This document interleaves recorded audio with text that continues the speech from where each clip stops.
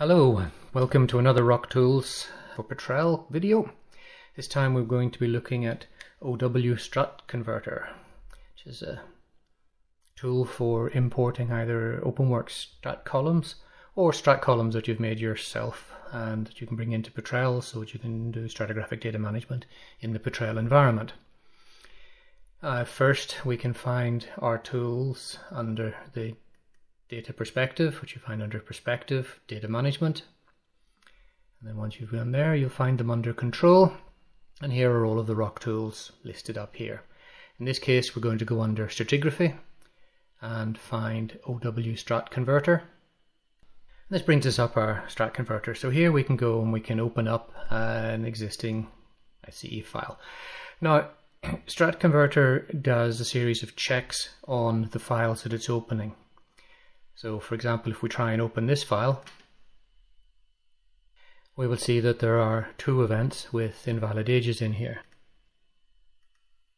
You can see them lit up here in red, showing you that the ages of these events do not tie with the parent age. We look at this, the input file for this.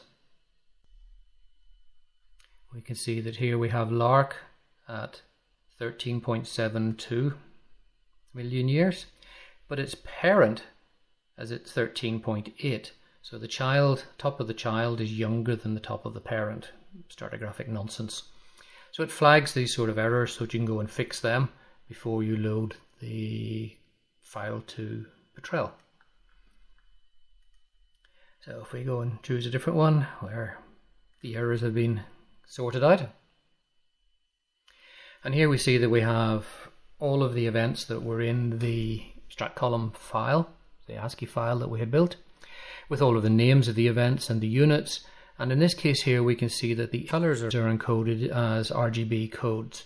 So you can pre-assign all of your corporate colors to the events and units in the file, and those will be loaded accordingly. The other thing we can do is this file is editable. So column one, we could go in and say groups, for example, and we could go in here and say that this one is formations, etc. Once we've got the file here the way we want it, we can just say create it in Petrel.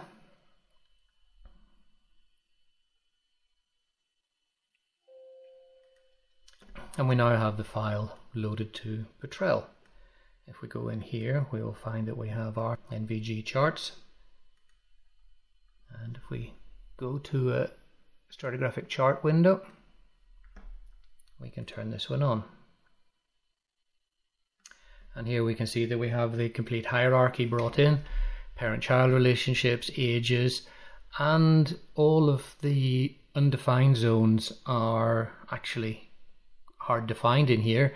And this is so that we can take it to the next stage, which is to take it into a well-top collection and initialize the well-top collection with this stratigraphic chart, which is the subject of another video. So that's basically how simple the strat chart converter is and how easy it is to bring strat charts and define them in Petrel. Thank you.